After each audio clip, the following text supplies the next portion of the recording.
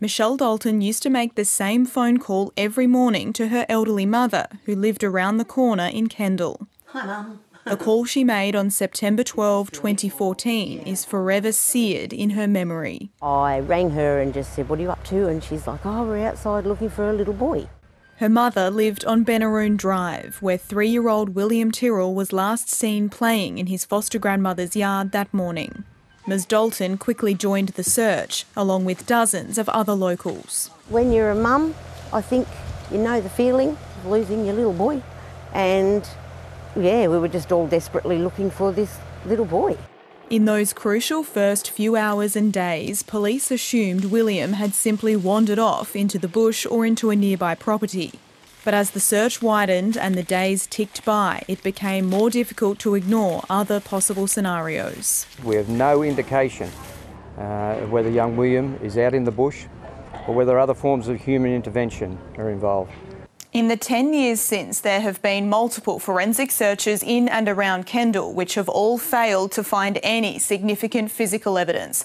The coronial inquest has dragged on for more than five years and heard testimony about multiple persons of interest, but no charges have ever been laid.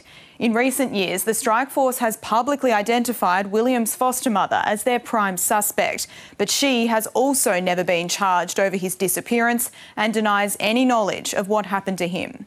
If the police had enough evidence to charge William Tyrrell's foster mother in relation to this, then that would have happened by now. With the coronial inquest expected to finally wrap up later this year, there are fears William's case will remain unsolved.